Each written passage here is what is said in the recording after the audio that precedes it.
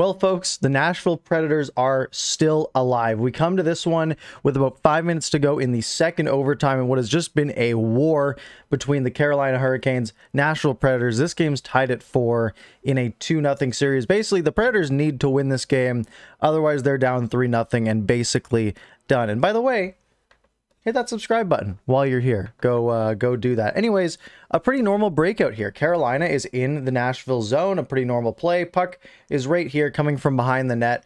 Uh, we got two Carolina guys swooping out. Uh, and it's a pretty normal breakout. We've got this guy, this guy, and this guy. Three Predators moving up. Basically, the pretty standard play is Josi's going to bring it around here, and he's probably going to play it up to Forsberg. Forsberg's going to go glassing out or chip it up the middle, and basically just a pretty standard breakout. But instead, what happens uh, is Matt Duchene would normally come to sort of like support here and support the breakout, make sure Forsberg's sort of bank here or his pass up. Duchene would help move that forward. But instead, Duchene just starts gunning up the ice, and Josi is just decides he's just going to sky this sky this puck uh, basically to deep center field here. So Josi picks this up. Duchene starts skating uh, sort of on this path. And what's going to happen is as this thing gets skied, this is going to take basically this entire part of the ice out of the play. Because if you think about it, this guy's focused sort of on pinching in here, making sure this breakout doesn't get anywhere. Uh, but instead, as this puck comes through, we'll wait for it to land here, right here. So what happens is basically everyone behind this play is is not going to be involved. And the puck is right here. It's kind of blurry, but you can still see it. Uh, Matt Duchene puts his stick out trying to knock it out. Uh, the defender here doing the same thing. But the, what's so lucky for Matt Duchene is they both miss it and it hits and it just perfectly lands off to the side here, which means Matt Duchene can just skate. He can just pick this thing up. The defender is completely out of the play. He's facing this way.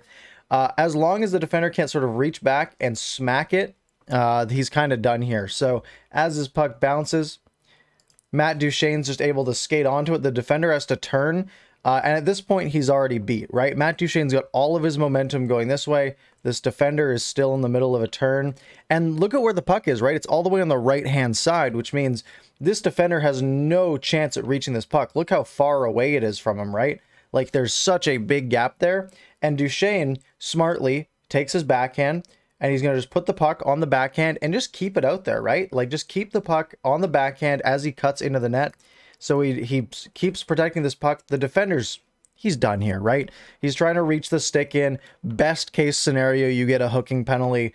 Uh, worst case, Duchene goes in and scores. But he's got this thing protected. He's got his skates angling this way, and he's going to cut in, and he's basically going to have this entire part of the ice all to himself. That's what he does.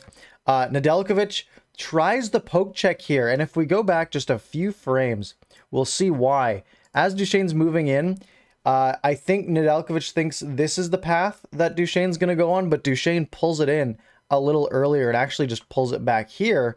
So this poke check is going to be out of reach for Alex Nedeljkovic.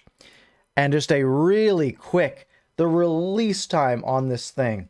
Look at how quickly he releases this thing. Just quickly flips it over, over the shoulder, into the top corner. And just like that, Matt Duchene has won it.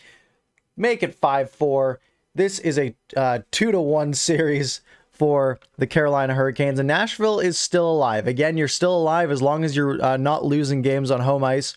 If they can come back in a couple days' time on Sunday and beat the Hurricanes there, then we will have ourselves a heck of a series. Anyways, that's all I've got for this one. Make sure you're subscribed, hit the like button, do all that good stuff.